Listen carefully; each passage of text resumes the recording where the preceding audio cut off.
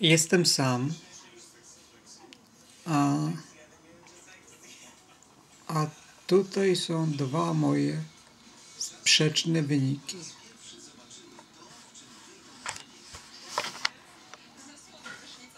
Nie wiem na czym to polega,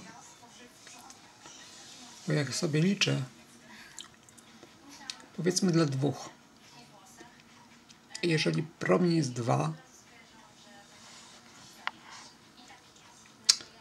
a uwzględniam pi, Ludolfinę i jak tam i inaczej jeszcze, czyli tą bardzo niedokładną wartość, nie wiadomo po co tyle miejsc po przecinku, to wychodzi mi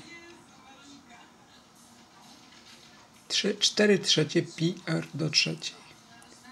4 trzecie 3 czternaście 2 do trzeciej. 2 do trzeciej to jest 8. 4 razy 8 to jest 32.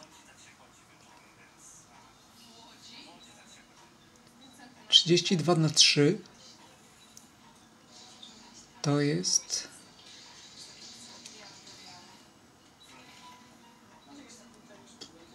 i zaczynają się cyry.